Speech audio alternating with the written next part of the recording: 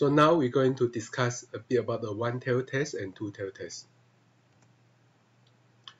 So as we learned just now, we want to test whether our sample is from the population with a sample mean. Okay, and as long as the sample is different, either is larger or smaller, we will reject the null hypothesis and we will go for the alternative hypothesis. So we only want to know the difference. Okay, whether it's larger or smaller, both of them are considered the differences.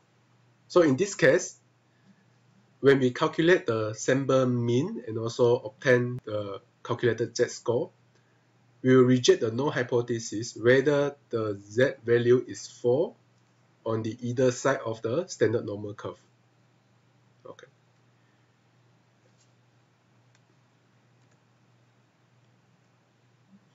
However, sometimes we will ask a more specific hypothesis. We want to check whether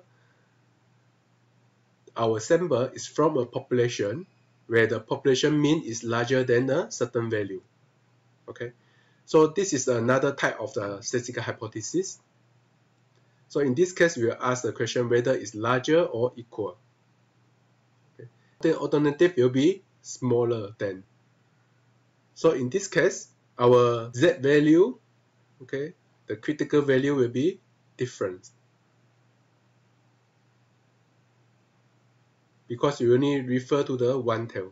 So it's different from the two tail test where the probability is the sum of the two side, okay, the area under curve, while in the one tail test, it's only from the one side, okay, either side.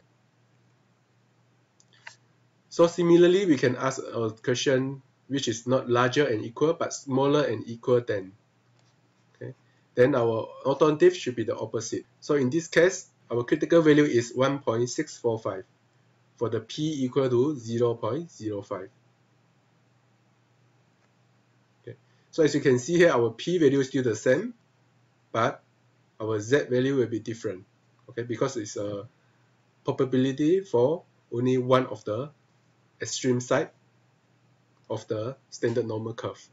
So the only difference is the hypothesis and also your significant level. So when you determine your significant level, uh, let's say alpha equal to 0 0.05, then you have to mention your test whether it's a one-tail test or two-tail test. So in the next lectures, we're going to demonstrate this by using t-test. So now you should be able to perform one sample Z test, okay, and select one tail or two tail test, depend on the hypothesis.